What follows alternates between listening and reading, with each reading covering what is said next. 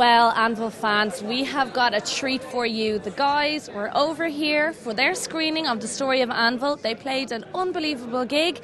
So this is for you and enjoy. Anvil, ladies and gentlemen.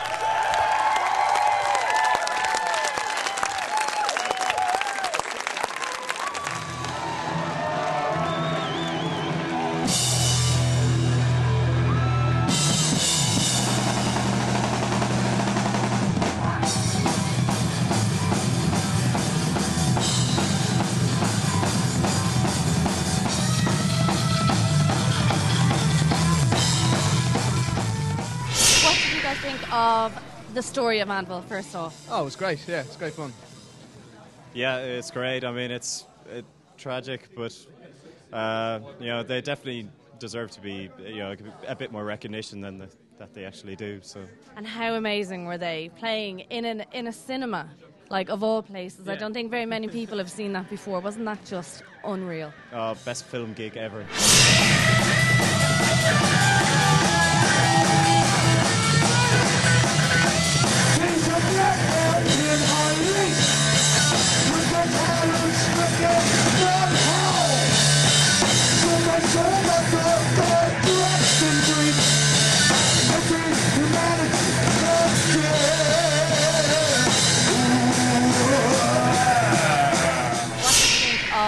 Anvil, the story of Anvil? Yeah, it was pretty good. I enjoyed it. And the guys playing, didn't they rock it? Yeah, it was pretty cool. I wasn't expecting it, so it's a nice surprise. Like, you come buy a ticket for cinema and you see a gig. Pretty sweet. What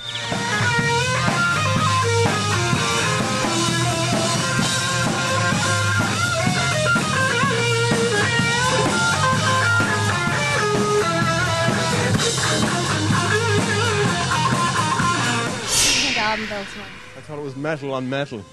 On metal. Thanks, Mel.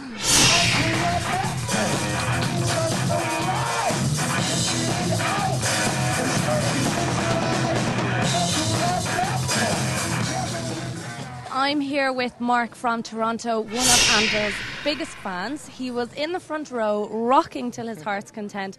Mark, wasn't that unbelievable? It was it was fantastic. It was just a great experience just seeing the band well really pour their heart out on stage here. It was actually kind of amusing how the crowd was laughing at their most touching moments. Well, I was laughing too, but what can you do? Did you shed a tear though as well? Um, no, come on, it's metal.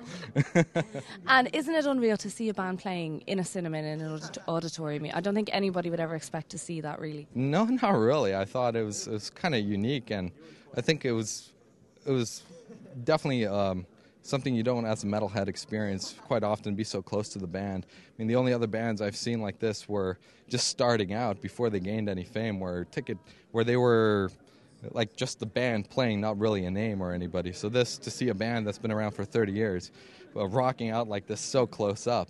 Was uh, quite the joy, quite the experience. Well, we enjoyed watching you anyway. So thanks a million for speaking to us, Mark. Thanks.